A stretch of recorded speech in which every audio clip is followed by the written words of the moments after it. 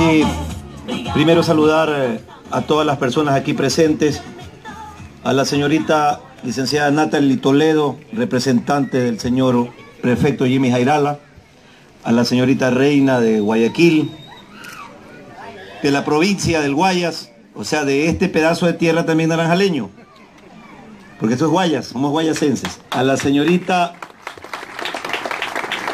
vicealcalde del cantón, al señor presidente y a la señora Eva, una de las mujeres luchadoras de este sector. Es importante hacer una remembranza de cómo llegamos hasta la comuna San Miguel, porque hay muchas personas que no conocen lo que sucedió hace 10 años o 12 años más o menos que llevo en política, cuando el pueblo de Naranjal me dio la oportunidad de administrar los destinos del cantón. Y digo esto porque gracias a Dios le dio la oportunidad a un hombre netamente comprometido con el desarrollo de los pueblos. Jamás miré los poblados que tengan dos mil, cinco mil, diez mil votos. Yo siempre he visto donde ha existido la necesidad, para esa necesidad, con obras, ayudarlos. Y así fue como hace 10 años atrás visité esta población y me encontré con una manguera de agua termal botando en una pequeña piscina que está ahí, una cosa ahí pequeña.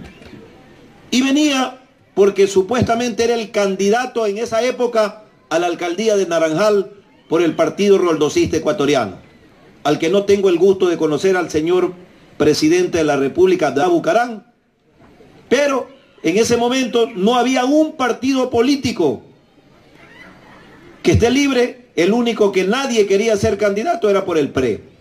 Pues yo le dije a las personas que dijeron, pónganme por ese partido político, que vamos a ganar. Iniciamos con cinco, tuvimos 10 mil personas andando atrás de nosotros. Y así fue como vine acá a ofrecer, pedirles el voto a la gente. Las personas de aquí dijeron, como siempre, candidatos, nunca cumplen.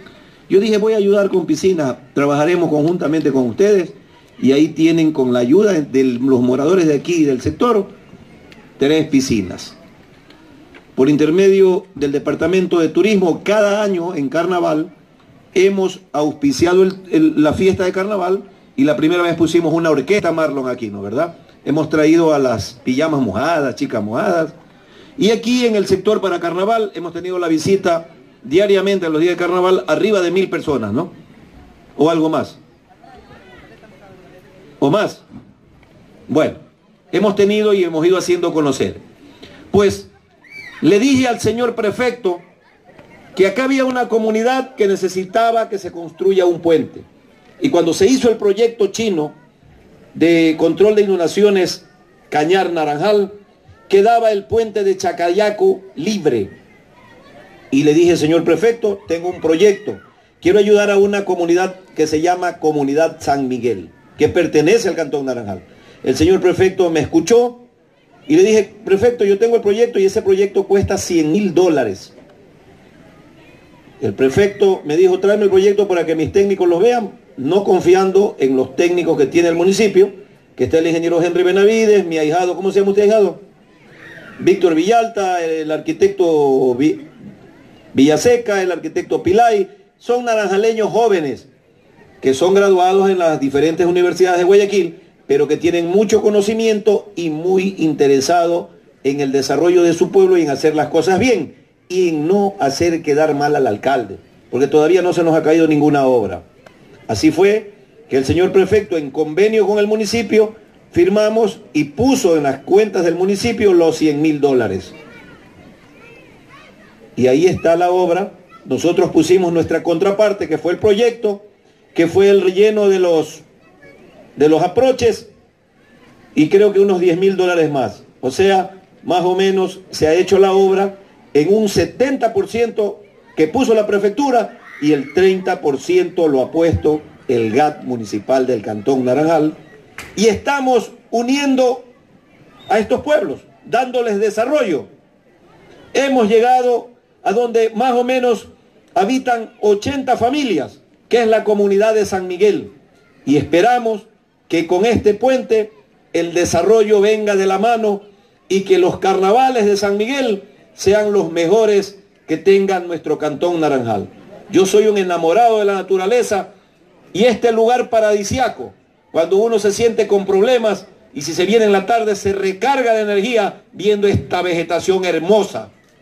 Quizás por eso hay cinco o seis personas que en la ciudad de Naranjal no quieren al alcalde Marcos Chica, porque tuvieron que pasar 50 años para que un hombre, no me considero político, me considero un servidor y, soy más agricultor que político. Y así es como yo siempre he luchado porque se desarrollen los pueblos y ahora esos cinco contendores políticos, que a quienes les digo que ni así el presidente Lenín diga que hay reelección, no voy a aceptar reelección, porque ya me cansé y lo que quiero hacer de aquí para allá, cumplir mi periodo como lo hice hasta el último día, como lo hice desde el primer día, e irme a mi casa, pero sí lucharé con un gallito que tengo y andaré pidiendo el voto a todo el mundo para que las obras de Naranjal no se queden. Ahora sé que hay un abogado de Naranjal que, dice, es que al Montubio no le va a alcanzar las fincas que tiene para poderse defender, porque habla medio afeminado. Ya saben a quién me refiero. ¿No es verdad? Y la radio les da y les da voces, les da voces, cuando en realidad lo único y el único pecado que he hecho en estos ocho años que llevo de alcalde es marcar una diferencia y demostrarles a la gente que nunca antes ha habido el desarrollo en la ciudad de Naranjal o en el cantón Naranjal completo como en estos ocho años que he estado como alcalde. Porque soy un hombre comprometido porque no vivo en la ciudad de Naranjal, vivo en la parroquia San Carlos, pero sí tengo compromiso con el pueblo que me vio nacer, que es el Cantón Naranjal, donde yo sí tengo mi producción propia y la gente, y no me voy a ir del Cantón Naranjal. Jamás me iré del Cantón Naranjal. No soy de los alcaldes que han llegado y que después que llegaron hace 20 años se cree con derecho y ahora sí se creen naranjaleños y quieren ser alcaldes. Acá es naranjaleño de nacimiento, de corazón el que vende su banano y su cacao en la ciudad de Naranjal, y caminaré por las calles con la frente en alto, porque lo único que he hecho es servir de corazón.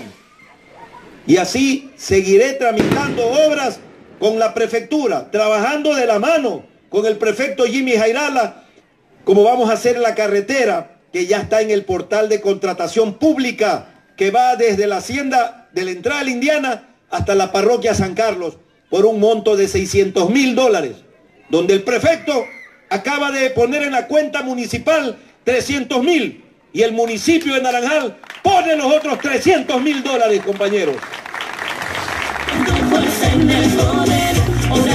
Que se han esperado por toda la vida. Sin embargo, en mi propio pueblo hay descontento de algunas personas que no entienden que la obra pública no llega cuando uno la pide, sino que son trámites, son momentos, y que la disponibilidad económica por los problemas económicos que ha atravesado el país hace que vayamos a paso lento, pero seguro. También el señor prefecto, en una reunión que tuvimos hace tres meses atrás, coordinamos la construcción del puente en el río Canayacu, Bucay, que va hacia un lugar que se llama la 11 de agosto. Marco Chica no tiene un centímetro de tierra. No tiene un centímetro de tierra en ese sector. Lo único que tiene es el deseo y la voluntad de servirle a la gente. Y el día que deje de ser alcalde, que todo el mundo reconozca y extienda la mano con sinceridad de un hombre que sí ha trabajado por su pueblo. Y hoy, señorita representante del señor prefecto, le voy a hacer la entrega del estudio, porque así quedamos con el prefecto, que hoy día le debía entregar el estudio. ¿Y cuál es mi sorpresa? Los problemas que ha tenido el prefecto, donde él ya se comprometió a entregar 100 mil dólares nuevamente al alcalde, confiando en ese grupo de, técnicos que tiene el municipio y en el trabajo que haríamos nosotros para llevarle una sonrisa a la gente de la 11 de agosto. Señorita licenciada Natalie Toledo, le hago entrega de este proyecto, le hago entrega de este proyecto, que es la memoria técnica con diseño sobre el río Bucay, para que el señor prefecto lo revise con sus técnicos y tratemos de hacer las cosas urgentes para que podamos montar ese puente antes antes que venga el invierno y poderle servir a otra comunidad, que es lo único que me lleva como de mucha satisfacción. Eso es amor para mi región. con nosotros sintiendo que crece con amor. Así es, compañera Natalie Toledo. Pues yo creo que no me voy a extender más porque tengo muchísimo que decir, mucho que contar. Pero prefiero no cansar a ustedes y que disfrutemos los jugadores de este sector del puente la alegría que sienten ahora, porque nosotros los pobres, con pequeñas cosas, nos sonríe la vida. Muchas gracias.